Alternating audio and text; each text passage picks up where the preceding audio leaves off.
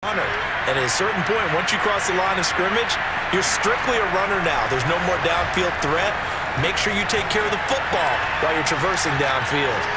And his pass is intercepted for the